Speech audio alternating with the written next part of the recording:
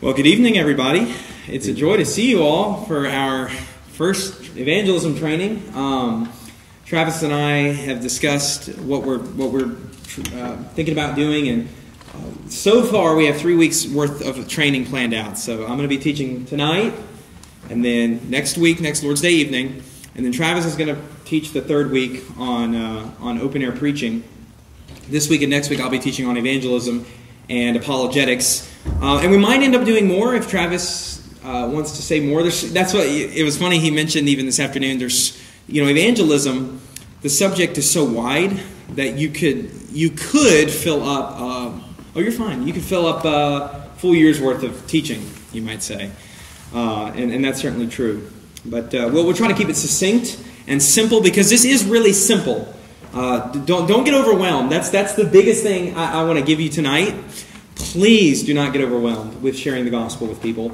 Don't get overwhelmed with evangelism because it's actually, in its very essence, not complicated and not complex. It's actually very simple. It starts to get intricate, I think that's a better word, when you get into the details of how to deal with somebody in conversation and how to deal with uh, an atheist's objections and things of the like. There's, a, there's, there's some details, but overall, the concepts are very broad. So that's really what I want to introduce this evening is some more broad ideas and talk about a couple of practical things as well. Uh, but before we do that, of course, let's go to the Lord in prayer, asking that He would bless our time of teaching. And one other thing, too, before I pray, is this is different than preaching, even though it's hard for me to talk any other way than the way I normally do. So please don't think of it as really preaching. It's more of teaching, and I mean that in the sense of it's much more um, uh, lacking formality, in that I want you to interrupt me. If you have a question, if you have a comment, Travis, if you have something you want to add, please feel the freedom to, to add in because this is really more of a conversation, we could say. So uh, please look at this as more informal and have the freedom and raise your hand if you want to have a question about something. Because, like I said, I'm going to get into some the nitty gritty aspects of conversation, especially. So, you know, if you think, well, what happens if they say this in the conversation, or what happens if I don't know this answer, please ask me. Uh, and if I don't know, I'll point you somewhere that uh, you'll get the answer, you know, whether it be some teacher or, or I'll say I'll get back to you. Um, I have an extensive list. Mike knows about it. An extensive list of things to do. And if you have a question, I'll put it on there, find out the answer, and get back to you. So, anyways, let's go to the Lord in prayer, asking He'd bless this time as we meet together. Father, we we ask that you would bless uh, the teaching that is brought this evening. Uh, that we as a church, as a, as a, as a local body of believers, are equipped, um, that we are strengthened, that we are given the tools necessary to go out into the world and to proclaim the gospel, the good news of Christ, to this lost, to this dying, to this decaying, um, to this wicked world that is headed for destruction. Father, I pray uh, for my brethren that they would be filled with joy, that they would not, um, that they would not. Uh, as it were, be filled with uh, a sense of being overwhelmed because these things really, in their essence, are simple. And I pray that they would, they would walk away this evening with that, uh, with that understanding. And I pray that, uh, again, that, that we would, um, as a group, be equipped, and that, and that in our being equipped, in our, in our knowing how to deal with the unbeliever, how to share the gospel with the unbeliever, that Christ is glorified. We pray ultimately that that's, that's, our, that's our goal as a church, that's our goal as believers individually, to glorify the Lord who graciously and lovingly laid down himself for us. And so we say all these things, we pray through him, uh, we, pr- we pray to you through him, knowing that he has been appointed as our mediator, and there is no other, and we rejoice. And so we say these things in his name. Amen. Amen. Um, one of the most unfortunate things I've seen in the short time that I've been in ministry, uh, and even just a Christian, is that I that I, I see it all the time. A lot of believers don't have the tools. They have not been given the tools necessary to effectively share the gospel, and even to do so with confidence. That's one of the one of the saddest things I think is that it's not even that I don't encounter Christians who don't know how to share the gospel, but they don't feel confident. They know the gospel, they believe the gospel, but they have not even been told uh, or, or, shown how to effectively do that in conversation, or even as I'm going to touch on later, in open air preaching or things like that. It's all the same. It's all the same. We're sharing the gospel. And so that's the goal of this training. We do not want you all to feel that way, and it's not something we ought to cower uh, in, in, light of. In fact, uh, there, are, there are different personalities in this church. God has equipped uh, certain of us with different personality traits. And some of us are a little bit more social than others. Some of us are a little bit more, uh, the term is introverted. You know, we, we maybe enjoy a little bit more time alone. But we are all called, to an extent, to be extroverts for the gospel. We are called to die to, uh, to shyness for the gospel. We are called to die to, uh, to avoiding awkward situations. Because let me tell you, sharing the gospel can become awkward at times. You can put yourself in some awkward situations, and you will always interact with awkward people. In fact, that's one of the things that my mom was telling me in the car the other day. She was talking about something about um, avoiding awkward people. And I thought, Mom, to, to, to go out and to share the gospel, to do any sort of ministry, is to interact with, with awkward people. So we go on the streets, keep that in mind as well. We, we want to avoid those things, but rather uh, we must sometimes embrace the, the path of most resistance. And that certainly is the path of sharing the gospel. And uh, so, what we're going to look at this evening, we're going to, we're to cover three main ideas, three, three main uh, points, you could say. One is we're going to look at the essence of evangelism. What is evangelism in its essence? And then we're going to look at evangelism in conversation. Uh, and we're going to get very some very practical. I'm going to walk you through step by step what I always go through to share the gospel with someone in a conversation. And then lastly, I'm going to touch a little bit on evangelism through open air preaching, but Travis will do that much more thoroughly uh, coming soon. So let's look at the first one. Let's consider um, what is the essence of evangelism. And this is where I want you to, uh, to let go of your sense of being overwhelmed. Because here's, here's what evangelism is telling the world that Jesus Christ saves sinners.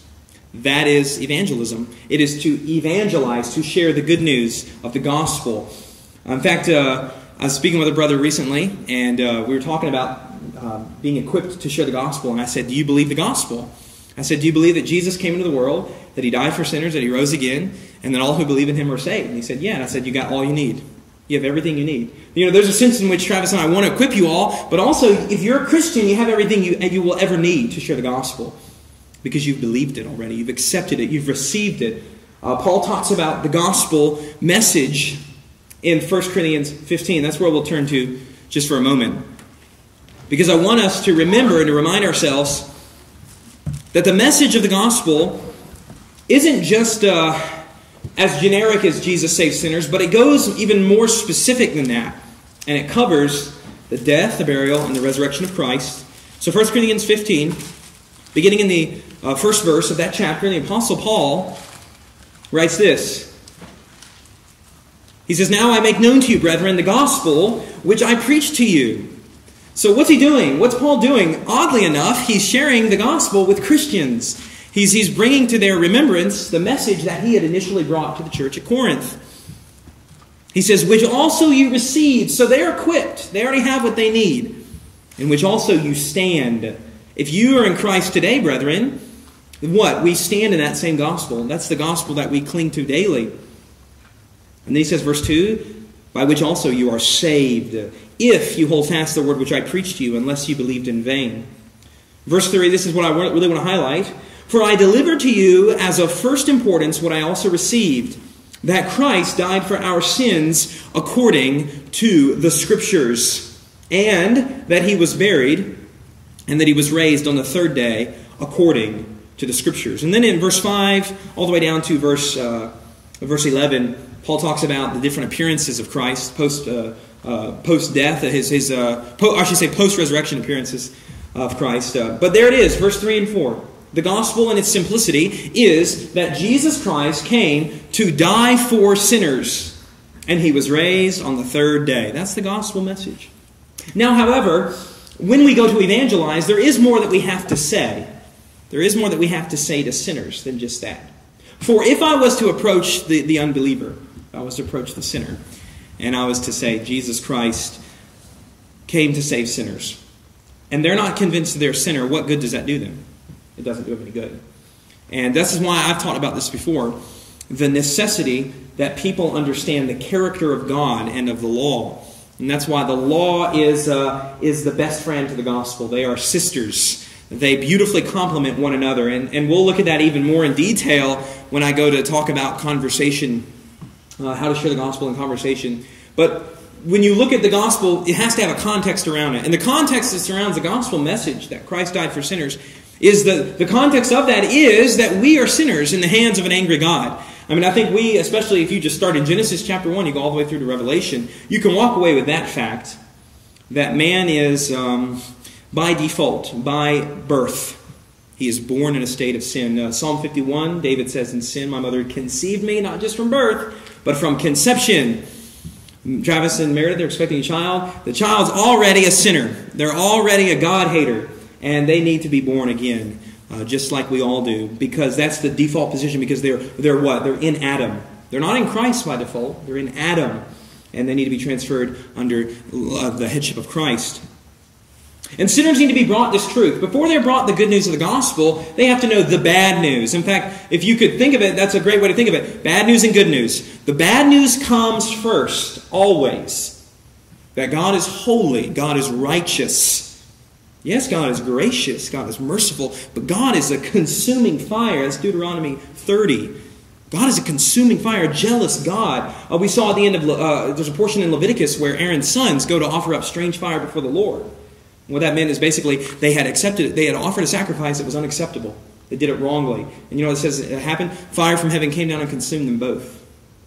So God is a holy God. We see it in the, in the revelation of His law, His character.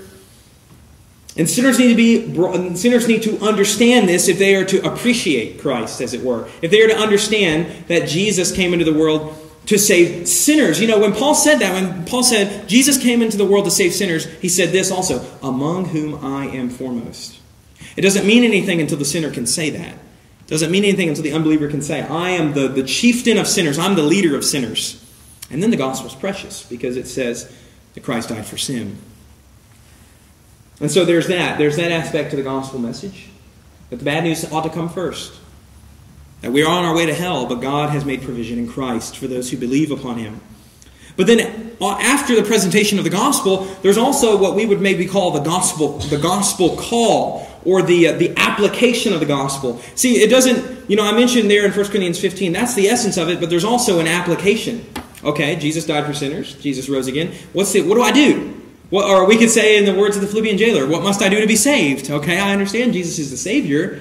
Jesus is the Redeemer of God's elect, but what, what must I do to, to, to take part in His benefits? And we know that the, the, the, the response is what flowed from the mouth of the Lord Jesus in Mark 1 when He said, Repent and believe in the gospel. It is repentance, turning from sin, turning to God in saving faith. And the sinner receives forgiveness of sin and they receive the righteousness of Christ imputed to them by faith, and God sees them as righteous in His sight.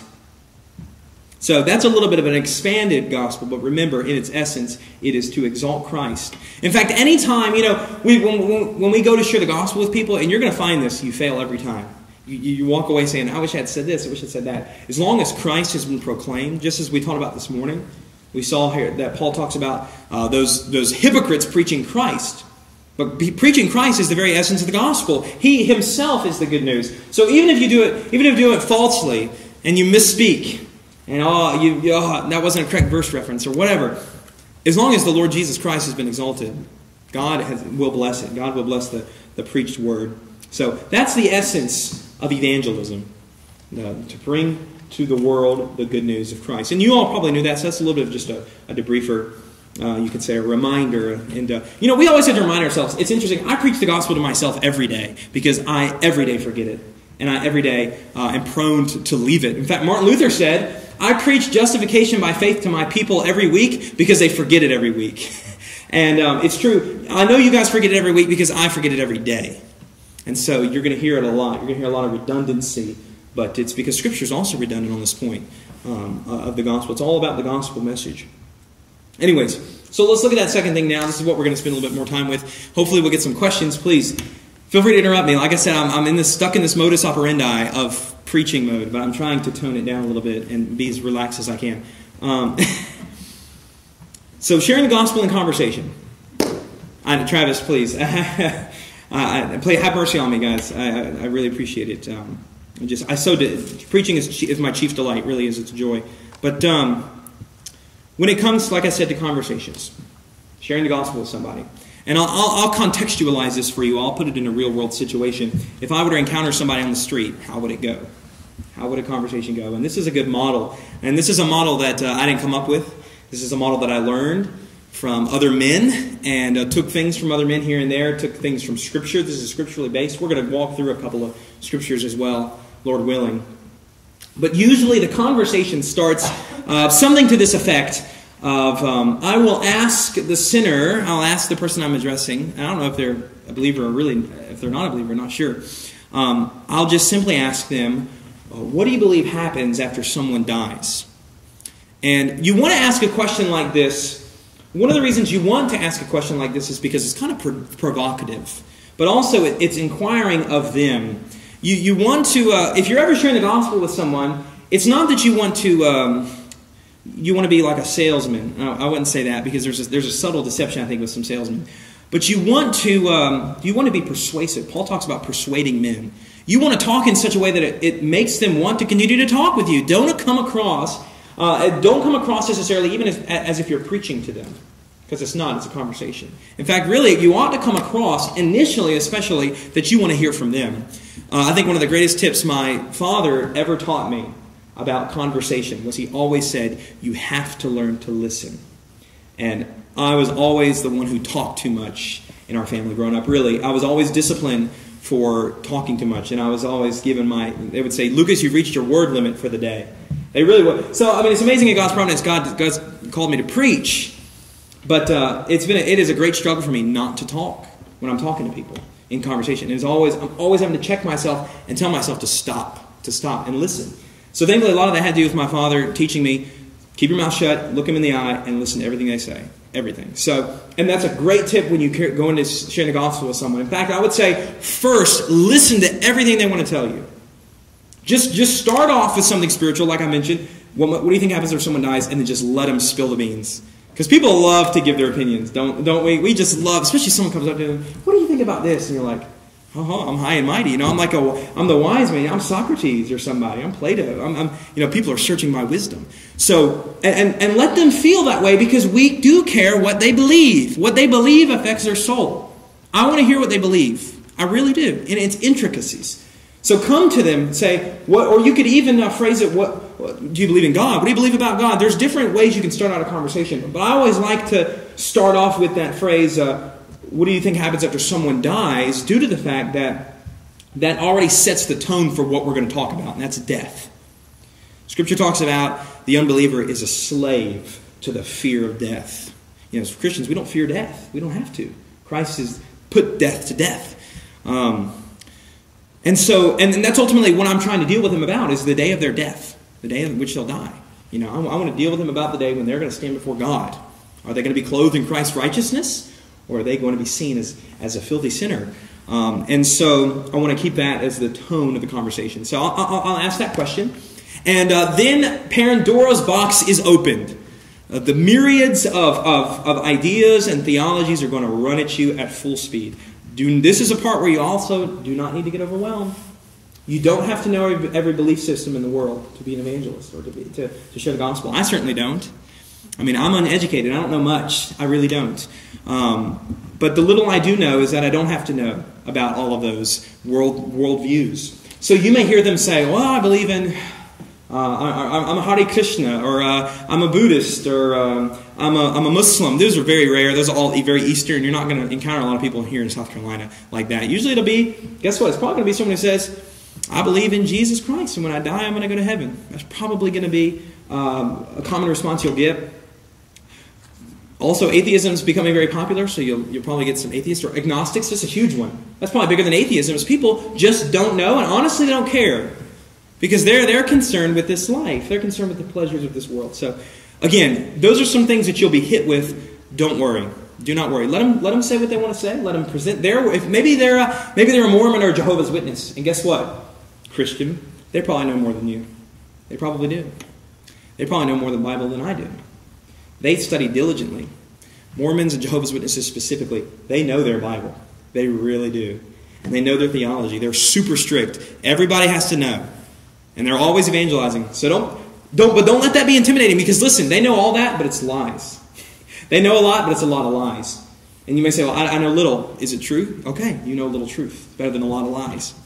So let that also, and they're, they're going to maybe even try to impress you with their Bible skills and throw in verse references, this and that, and they'll start talking about the Greek and, and uh, you know, all these different Greek constructions and this and that, and you're like, did you study Greek? You know, what?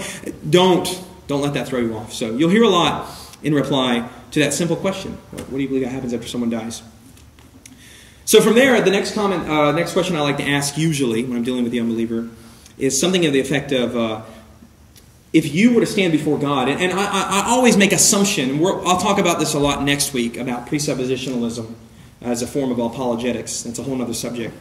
But I assume the God of glory is real. When you share the gospel with people, do not, do not step off your worldview, brethren. Do not abandon your Christian worldview.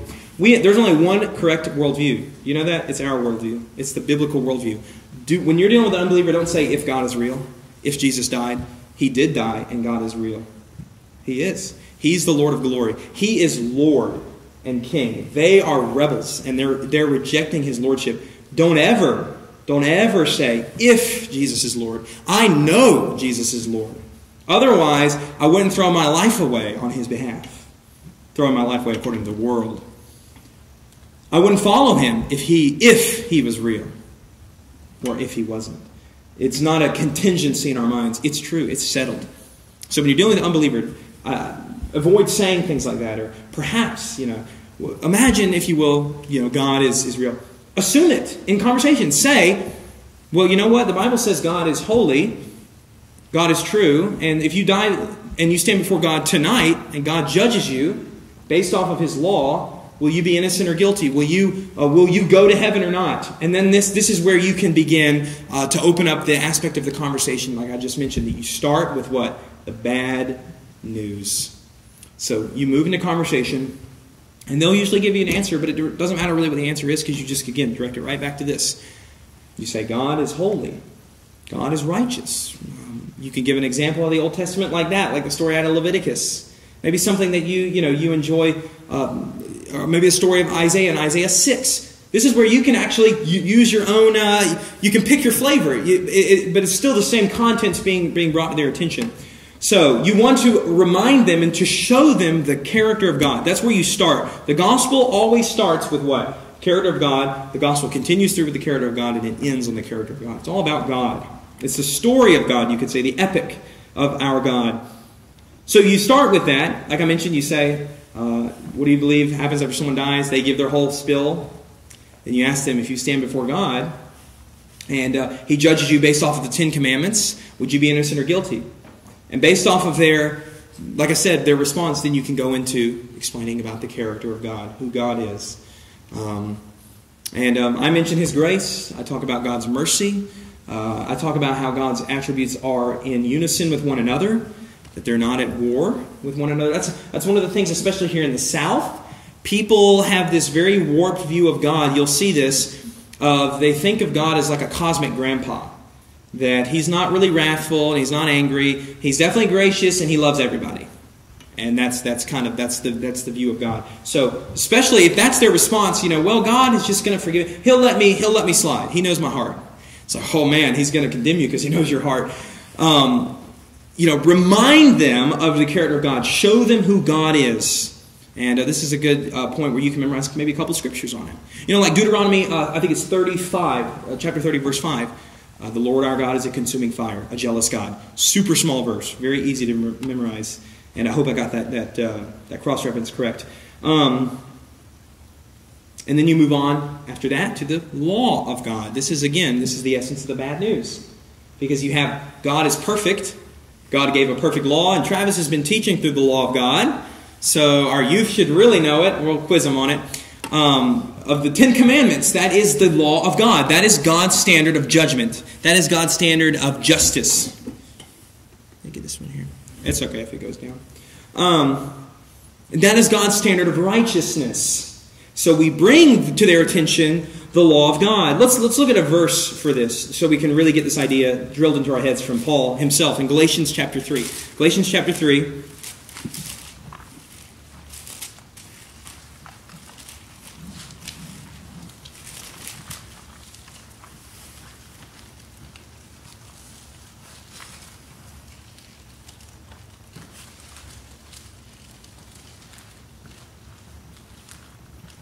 In verse 19 is what we're going to look at.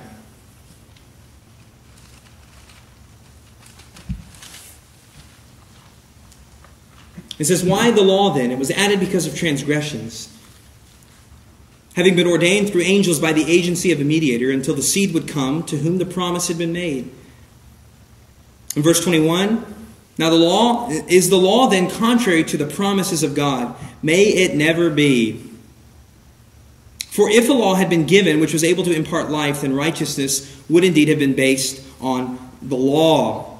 Verse 22, but the scripture has shut up everyone under sin. Now, scripture's there, and remember this, scripture's there, that's all that's really referencing the law, the scriptures concerning the law of God.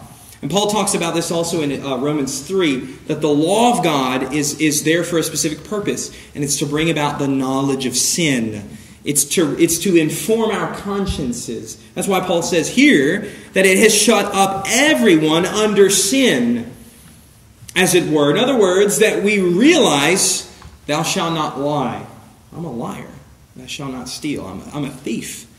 Thou shalt not blaspheme. I blaspheme God, and so on and so forth. And so in conversation, it would look something like this. I mentioned, I, I, I say, you know, what happens after you die? They give their spill. Uh, and then I say, you know, okay, knowing God is holy and knowing that uh, God judges based off of his Ten Commandments, would you be innocent or would you be guilty? They say, I don't know about God. Let's just say, I don't know about the God of the Bible. I say, well, the God of the Bible is holy. That means he's set apart. He hates what's evil. He's righteous. He does what is good. He is gracious and he is merciful. Yes, in fact, he's merciful, and you can see it right now because there's, there's, there's air in your lungs, there's blood pumping through your veins. God is sustaining your life in his grace. But God gave His law. His law, just like we have laws here on this earth, and I can use that as an analogy.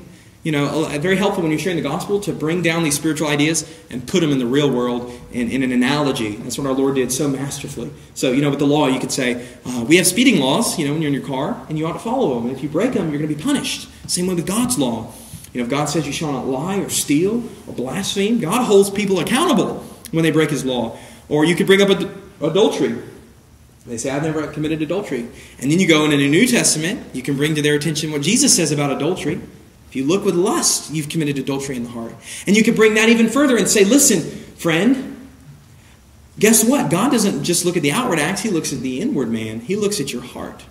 So, what am I, again, what, what's going on in the conversation? I'm showing them who God is, the nature of His law, what He has said in His law, and then I'm, sh- I'm really encouraging them to self scrutinize, to self examine in light of the law of God. Think of the law of God like this it's a mirror. It's a mirror. You know, you look at the mirror to see how, how dirty you are. In fact, in the morning, sometimes I get a good night's rest and I wake up and I just feel great, you know? You're like, I'm ready to take on the day. And you get up and you go in the bathroom, you look in the mirror, and you're like, I'm not ready to take on the day. I don't look as good as I thought I did. And it's, it's very, very much so with the law of God. We are self confident uh, by default as sinners, very self sufficient, at least we think, and uh, that we all we have all that we need from ourselves. And then we look at the law of God and we, we're, we're, we're, um, we're frazzled. You know, we're, we're, we're, surprised. Whoa, I'm really this bad? Yes, you are really this bad to the very core of your being. You're this wicked. So, and also in, in so looking at the mirror of God's law, they also see another image being reflected, and that's the image of character of God. Because, you know, the law of God is really, it's just the character of God. It's just telling us who God is. I think Travis has probably beautifully shown that going through the Ten Commandments. It's showing us th- these are the things that, that protrude from the, the very uh, essence of who God is. Why is lying wrong? Because God is truth. Jesus Christ is the truth. Why is adultery wrong? Because Jesus Christ is faithful to his church, and marriage is what? And mere reflection of that. So to, to, to abandon your spouse, to betray them, is to, is to fracture that image, is really to say the gospel is untrue. And so you could draw out many conclusions about the other commands as well. And so you're showing them who God is, what His law is, and then they see who they are in light of who God is in conversation. And so, like I said, it might go, you know, say, say those things about God. Then I say, hey, you know, you ever heard the Ten Commandments? Ten Commandments, here's one of them. Have you ever lied? And I'll ask them, this is very important, that you get them to self indict. It's very important. When you're dealing with the unbeliever and you're sharing the gospel with them and you're trying to give them the law, the bad news, you want them to self indict. You want them to, to admit it themselves. And I, I have before in the past said, um, I know that you're a sinner because I'm a sinner, and the Bible says all people are sinners. And I know that you've lied before and you've done these things, and um, you know you've probably looked with lust before, so you're an adulterer. And you know what? You're probably true, but it's much more efficient, and it's much more. Uh, it's much better to strip away their spiritual pride for them to admit it themselves. So say it like uh, pose it as a question. Uh, you see in the commandments, uh, in Exodus 20, we find you shall not lie. You ever lied before? Yeah. You ever told one lie in your life? Yeah. You ever told two? Yeah. You told five, you think?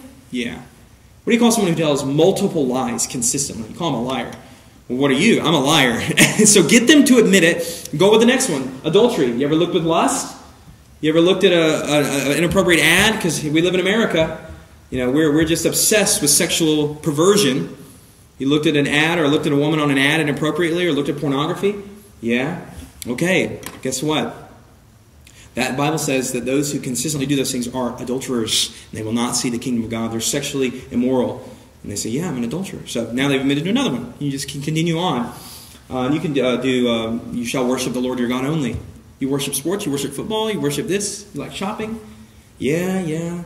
When was the last time you went to church? When was the last time you read, read your Bible? Uh, I don't do these things. That's your God. Yeah, it is. So, again, pose these things as questions. You'll find that as they self admit, they began to realize themselves, really, truly. As you reason with them, you, you know what you're acting like? For them, you're acting like a brain for them. Because the unbelievers, their mind are, minds are so clouded by sin. It's, it's so sad, but it's true. They can't even reason spiritually. So we're there to, to gently and graciously and lovingly deal with them concerning these things. So you're showing them the law, you're asking them about these things, and getting them to admit it themselves. Getting them to say, Yeah, I'm a liar, I'm a thief, I'm a, I'm a blasphemer. I break the Sabbath. That's a great one to bring up. I love that, especially in, uh, in the South here, because we pride ourselves as the biblical South. But on Walmart's most busy day is the Lord's Day. What a sad thing. What a grievous thing. Um, and so that's, that's one that you can bring to their attention likewise. And that's really the essence of the bad news, because once you get them to admit that, you can then go into conversation to bring out the logical conclusion, which is what? Well, if in light of who God is, in light of what His law has said, and in light of the fact that you've admitted to it, bring them back all the way to what you said at the beginning. You see, you always bring this back to that initial, that initial starting point. Of if you uh, were, if you stand before God tonight, you die tonight, and God judges you based off that law that we just looked at, would you be innocent or guilty? Well, where would you go if you died today? And then they'd have to admit, you know, and you can even you can even pose it further: Is it heaven or is it going to be hell? It's going to be hell for me. That's a scary thing. So, um, and now they've admitted it. Now they've admitted their spiritual poverty. Mike and I had an opportunity to do, to do this very thing with a lady, and we're Shoals uh, just a couple weeks back, and um, she professed to be a Christian. She gave a lot of good answers, very thoughtful, very nice lady. But I got her to admit, she openly admitted, I'm going to hell if I die. Because I had sim- all I did, it was so simple. Showed I taught about who God is, showed her the law, asked her about the law, said, You broken the law? Yeah, you broken the law. Yeah, I broken the law. What are you going to do about your law breaking? Oh, I'm going to try better. And when people and people will say that a lot of times. People will say, "Oh, I'm going to try better." Or God, God's gracious.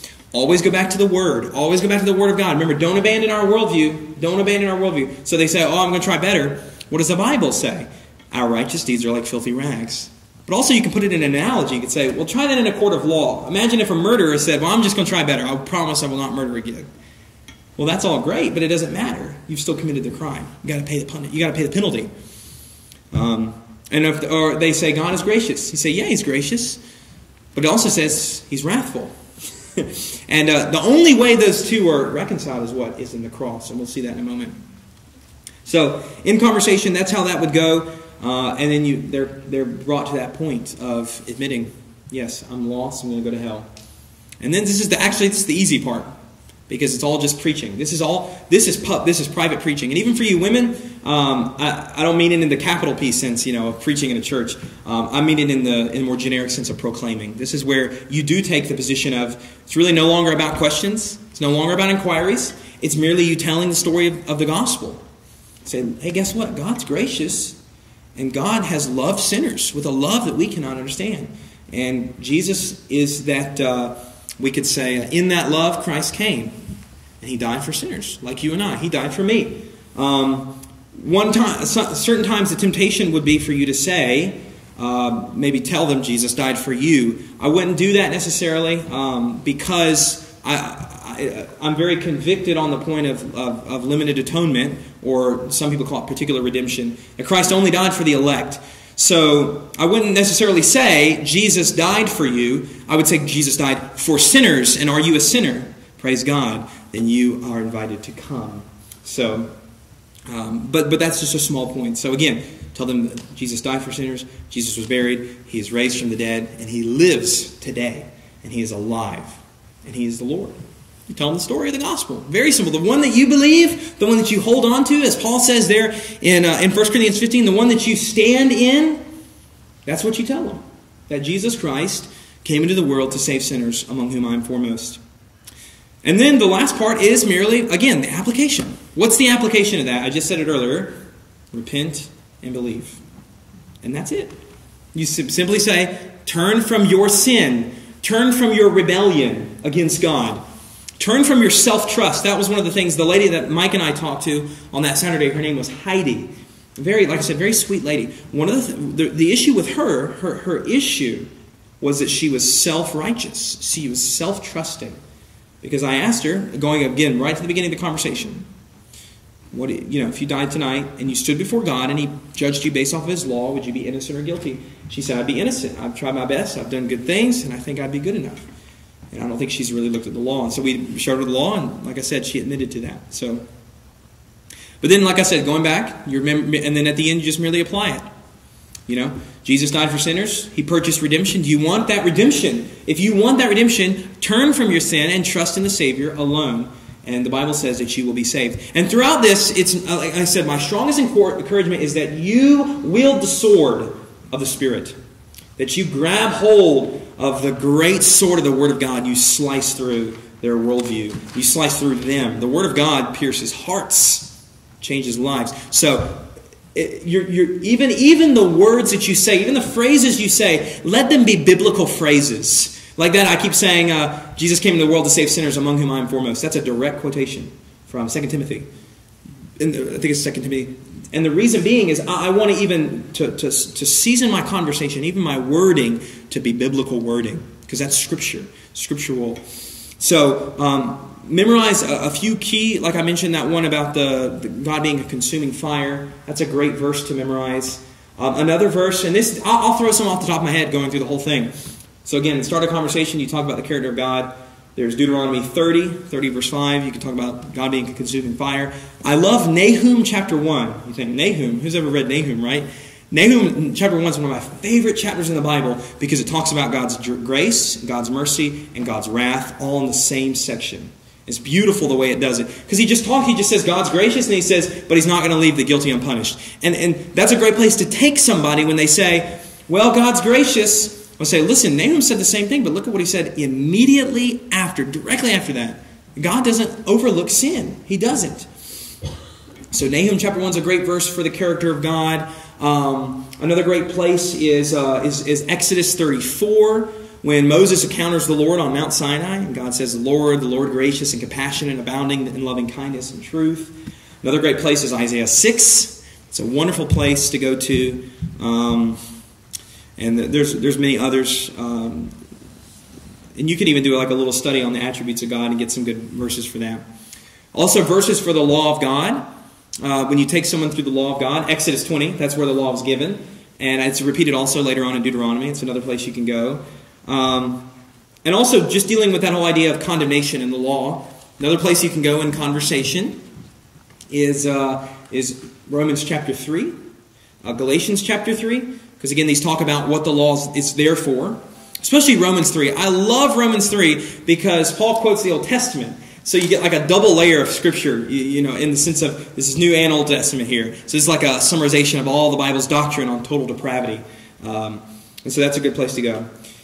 Also, just some verses on salvation by grace is Ephesians 2, 8 through 9, Romans 4, 3, Romans 4, 5 the whole chapter of Romans 4, really. You could read. You know, that's the thing. If you ever just get stuck, just go to the Word and start reading. I mean, the Word will have its due course, have its due effect. So, Romans 4 is a great place to read.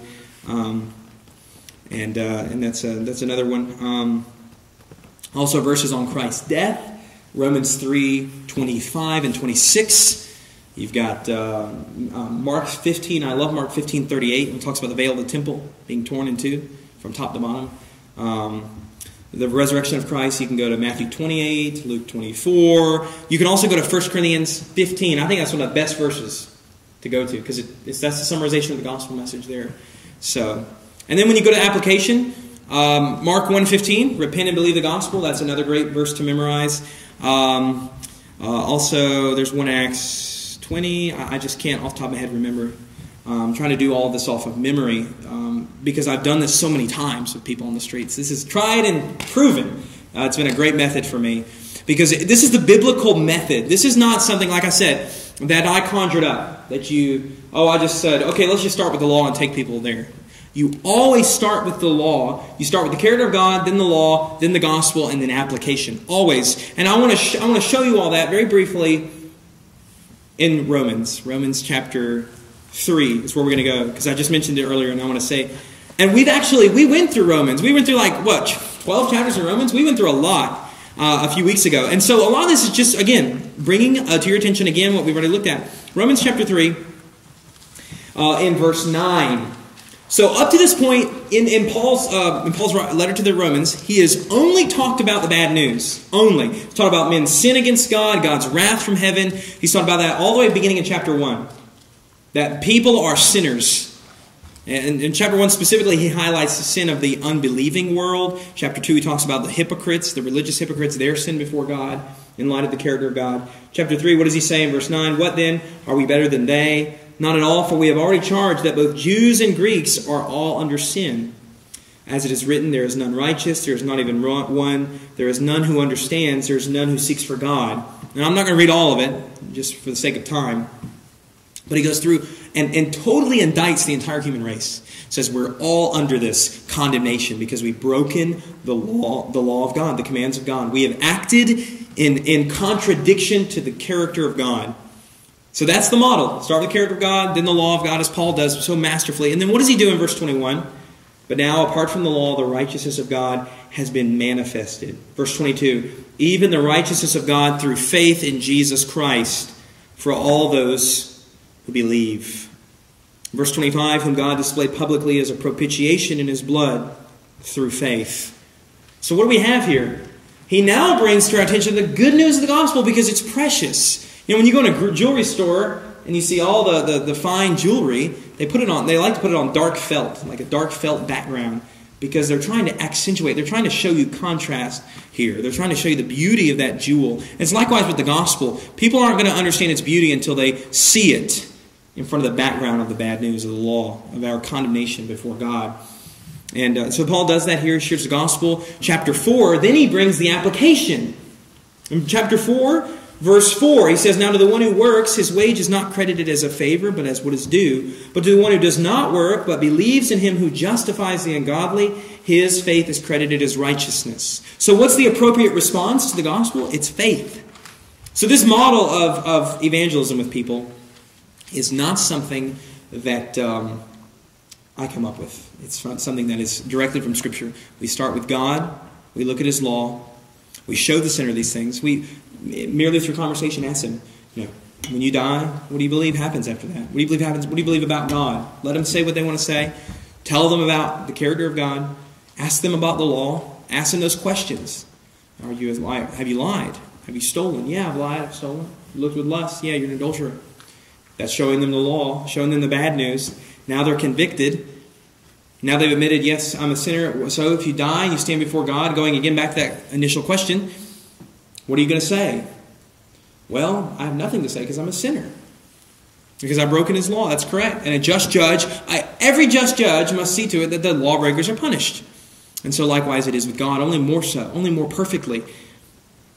And so they say, Yes, I'm a sinner, I deserve hell. And then you can finally say, Jesus saves hell-bound sinners. And you show them that message that he died and rose again. And you tell them, Here's what you must do turn from sin Turn to Christ. Believe upon him. As it says, to the one who does not work but believes in him who justifies the ungodly. God is in the business of justifying ungodly people. God is in the business of treating ungodly people as if they were righteous because of his grace in Christ. So, um, I don't know if it was because of my um, the way I spoke, but if there's any questions, please, please, because I still got a couple more things I want to say, please feel free to throw in a thought here or even a comment that you'd like to make. Um, perhaps a scripture that came to mind that you'd like to, to bring to our attention. But that, that is a basic, and you think, wow, it's really that easy? It really is. But you'll find it doesn't always go as beautifully as that. You'll find that you're going to go on a lot of rabbit trails. You're going to digress. They're going to say something about Joseph Smith and Mormonism, and you're going to, let's say you read you, you read up on a bunch on it last week, so you're going to want to talk about Mormonism for 20 minutes. It's not, it's not always, it's not going to work out as beautifully as like what happened with me and Mike and Heidi. I mean, that was like the best conversation I've ever had in terms of sharing the gospel. It never goes that well. It's going to have bumps on the road. They're going to they're going to try to distract you. Satan is going to distract. Think about this: we have three enemies when we're sharing the gospel: the world, the flesh, and the devil. You've got Satan, who himself is always at work to thwart gospel ministry. You've got your own flesh that you're always going to be, you know, you, there's going to be like an inward argument happening every time you go out to evangelize. Ah, nah, they, they, already know the gospel. Don't, don't worry. Don't try to talk to them. Or um, if you're at work trying to share the gospel with people, there's always going to be this inward fight going on between you and yourself. You're like, ah, you know, they probably already know. I don't need to share it. But then you're like, no, I do. No, I should. And then you got the world. The world tells you you're a fool for wasting your time on these things. So we need to be. This is this is this is a this is the path of most resistance, but we've got to run it. We've got to walk along it. And we know that our Lord is uh, glorified when we do so.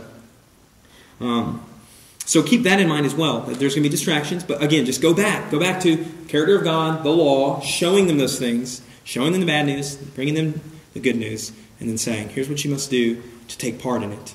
Um, and you can even talk about when you call them to repent and believe in Christ. Talk about the cost of discipleship. Like I said, there's so much freedom um, because in different parts of the Bible it talks about different aspects. You know, there's different times in Scripture Jesus even highlights different aspects of following Him. So you could talk about, hey, you know what? You've got to leave. Fam- you might even have to leave family members behind to follow Jesus. You might have to leave friends behind. You might have to to leave a, a job behind. I mean, there, there's many things that go into that, um, and so you can make application in that moment.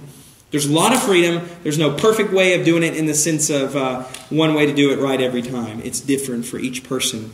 And you have to read that person. That's why I said, especially at the start of the conversation, that you let them tell you of themselves. Learn about them, get their name, where were they born, you know, how many siblings they have, you know, what are, what's their job, what are they interested in. Get to know them. Let them be your friend. Tell them. I, I love to always when I'm sharing the gospel with people, tell them I'm tell them friend. You know, address them as friend because they are my friends. Miss Heidi's my friend, you know. They, these people are people I love dearly, dearly, dearly. And I wish, honestly, I do, before God, that I had, I, had, I could just hang out with them.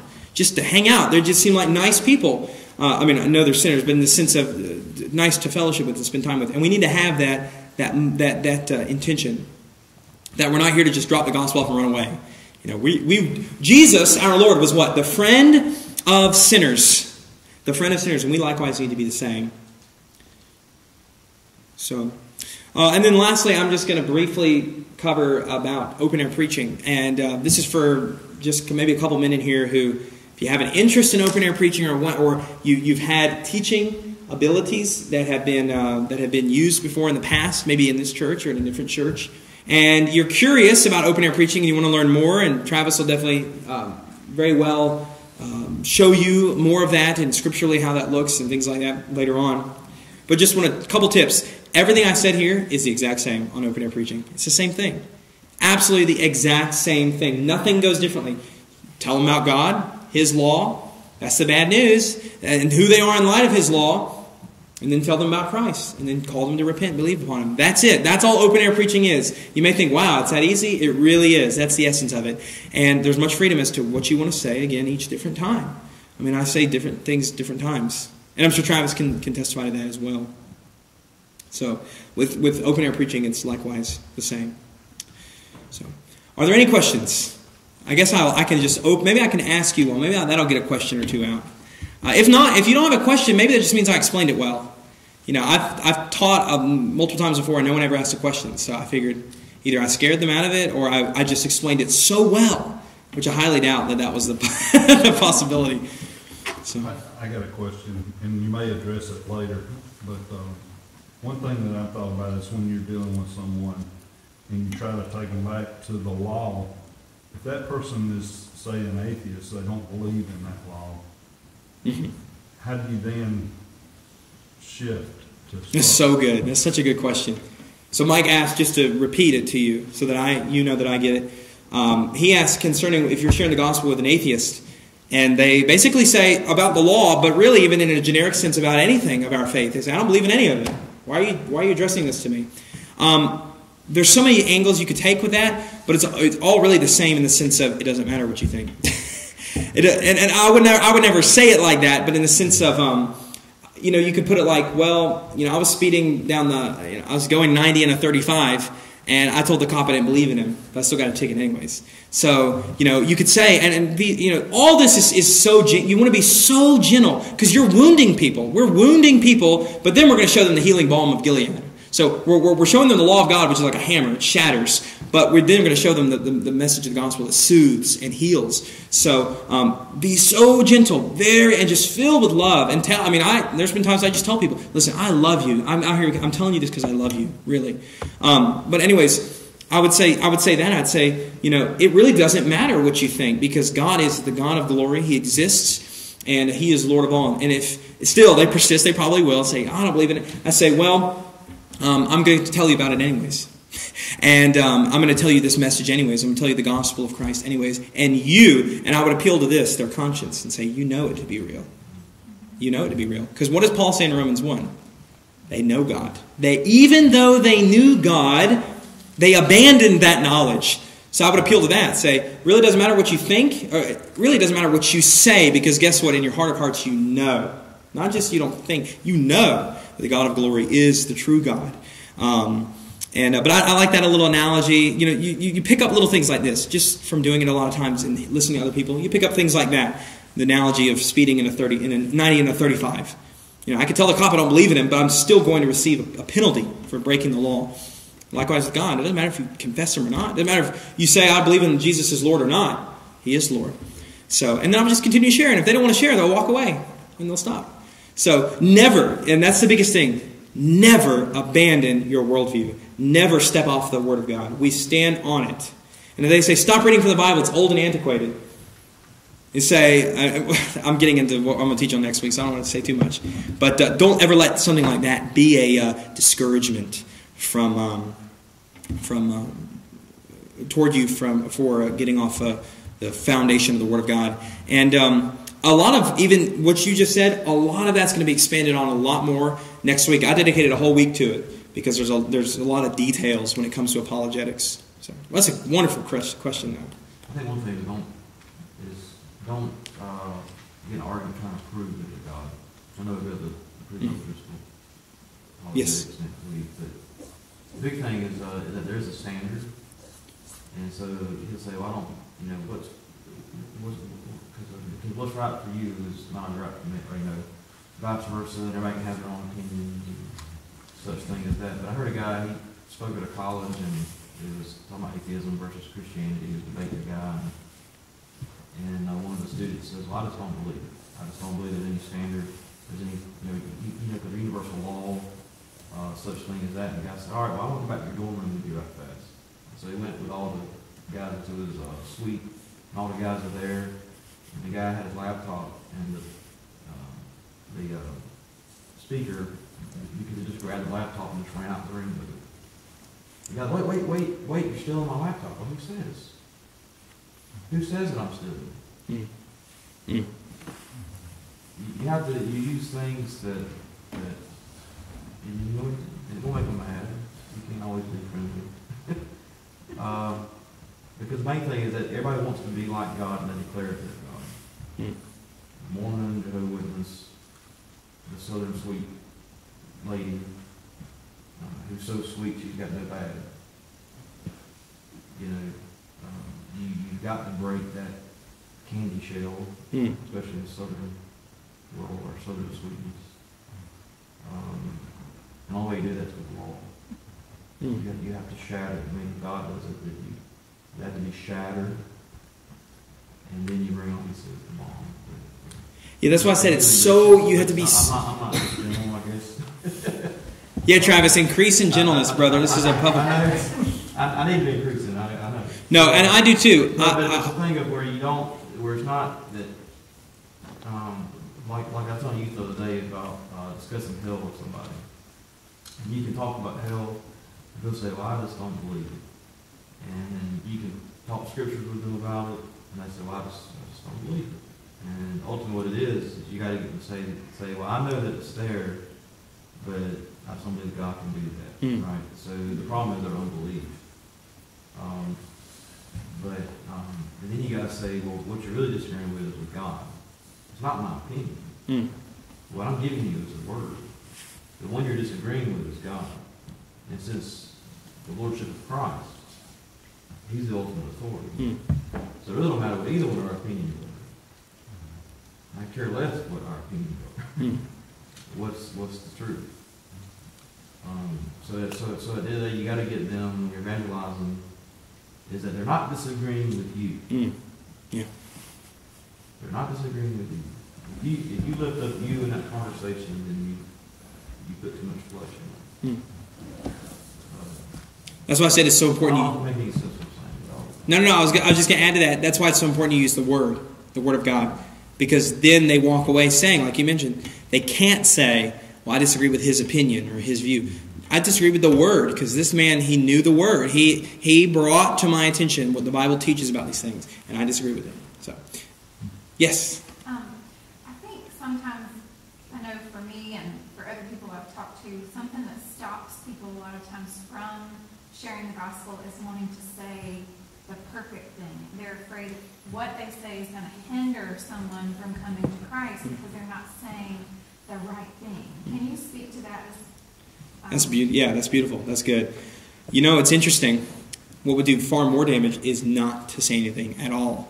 And also remember this: ultimately, it, I'll never say the perfect thing. I will never say the perfect thing. It will always be tainted by sin.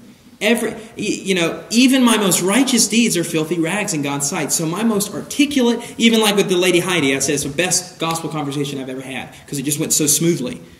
It was so faulty. It was a failure, an utter failure. And I look back and I just cringe. Oh, I just, I, I just want to, I want to say, what a failure! I said this, I should have said that. I didn't say.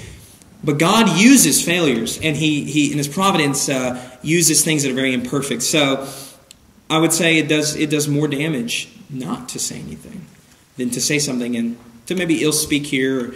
To, to, and we're going to misspeak. You're going to you're going to misquote like Deuteronomy. I hope Deuteronomy 35 actually says the Lord our God is a consuming fire, a jealous God. I really hope, but I'm a fallible man and my memory isn't perfect. So honestly, you know that that can be that could be demonic or satanic in its essence because it's of the devil in that it's trying to distract us from sharing the gospel. So that's a wonderful, wonderful uh, question though or thought. Um, so speak, speak, you know, speak, speak, speak. Um, every, I, I, almost every time I get an opportunity to share the gospel, um, I have to force myself to do it because I'm going to be tempted constantly with things like that. But I've got to go along with it, irregardless, and God will still use it. So, and we can all think about um, our own conversions, and or maybe just even preaching that God has used to bless us, and encourage us. Were those preachers perfect? Did they speak perfectly? No, no. But God used them. So that's wonderful, though. That's good. Well, to, to, I mean, I probably, I mean, I've never heard the gospel. From the time I was six to seventeen, when I was saved, you think how many times I've heard the gospel preached to me, and shared to me. Um, So just realize you're one of many that God will, Mm, mm, will use, and in, and in one individual's life. mm. So it's a little bit of a salt. And then another Christian will get more salt, some more salt. And with a combination of it, it'll get it. The Lord sees fit. So, you know, if you don't pour the salt out perfectly, um, it's okay. And I think sometimes we have this romanticized view that we're going to share the gospel and someone's going to have like this epiphany and, you know, the gates of heaven are going to, oh, you know, there's going to be clouds are going to open up, there's a road, you know, like a Damascus road. Listen, I have never in my entire time evangelizing ever seen a single person saved. Never. Never seen a person converted. And there's been a, there's, there's a sense in which that's been a discouragement. But also, I know that the, I ought not despise a day of small things. I preach the gospel many countless of times. I preached in many different cities and areas and gas stations and this and that and that and this. And um, you know what? I never saw people converted. I've seen people convicted. Seen people burdened. Seen people attentive. And maybe it's in the maybe it's in the province of God that I not see it for pride's sake. But don't ever let uh, that again be another reason to keep us from sharing the gospel. Because it might be so ordered that I'll, for the rest of my life, preach and never see someone come to Christ. But maybe the thousands of people did, and I just never saw it, or you know, one did, you know, or none. Uh, there, there's a story of a gentleman in Australia, and uh, he had, a, he had a, shop where he did shoes. I think he made shoes, and he had a common practice that he would hand out gospel tracts. I think it was to people he would do business with, uh, customers, and uh, throughout his entire life, he did it faithfully. Never did he see any fruit of it. Just would hand people gospel tracts and, and spread the word. Um, anyways, long story short, those tracts had made their way through various people. They had actually gotten to different people, not just the people who had received them initially from him. And uh, the Lord had ordered it that multiple people had been converted through his gospel tracts, and they, they traced back how they got the tract, how they ended up getting it to him. And one of them, I, I don't know, I forgot if it was one or multiple, found him on his deathbed. And they told him the story that multiple people had come to salvation through his tracting, and he never saw the fruit of it. So let that itself be an encouragement. You know, I've handed out thousands upon thousands of gospel tracts. I haven't seen the fruit of it, and we might not. So, but then again, we might, and we pray. We pray for, for us to see the fruit of it. We pray to see God work, and we know this: regardless if we see it or not, God has promised to work, and so that that's enough for me. I go home every night and I sleep very well. I don't have to worry. Thankfully, we're not Arminians. Man, if I was an Arminian, uh, I would be stressed out, wouldn't I? I mean, if I was a man-centered, uh, altar-calling, you know, Arminian, free-willing you know, Arminian, that'd be just a scary place to be in. But uh, I'm a Calvinist, staunchly Calvinist, and I believe in the sovereignty of God over the salvation of sinners, and that fuels my evangelism. So, uh, anyways, any any other thoughts, questions? If not, we'll we'll close in prayer. All right, Travis, can you close us?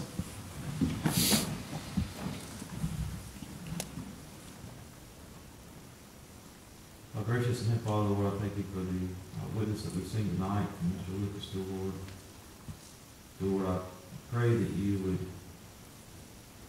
cause all of us to spend time this week, dear Lord, in preparation for evangelism. Yes, Dear Lord, to give us the scriptures that we need to study this week. Dear Lord, it's impossible to know all of the scriptures, dear Lord, but, but Lord, you are sovereign.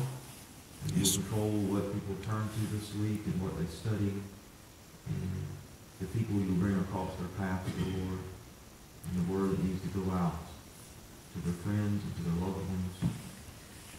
Lord, help us to trust in your sovereign hand in each step that we take as we share the good news.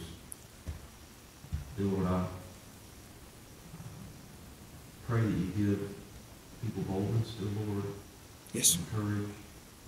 Remove the spirit of fear from them, dear Lord be simply just by handing out tracts. Lord, that they may not be able to speak well. Lord, they may not have the mind to be able to hold all the scriptures in, the Lord, to be able to speak. But Lord, even just written out for people, dear Lord, as you've ordained. Dear Yes. Lord, in many ways, in many revivals and reformations that's occurred across this world, Lord, it simply was through the printed word. So, dear Lord, I pray that you would just use us as you see fit, dear Lord. yes, Lord. If you desire for us to see no conversions, dear Lord, because of, of our pride, dear Lord, then may it not be. But, dear Lord, as Lucas mentioned, Lord, you see all things and know all things, and Yes, uh, your spirit will move as it, as it wills in the lives of those that we come across. So, the Lord, we trust in the wind each and every day, and we see it, the Lord, really trust in your sovereign hand. yes, Lord, things I ask in Christ's name. Lord. Amen. Have a restful Lord's Day evening, everybody. Thank y'all for attending.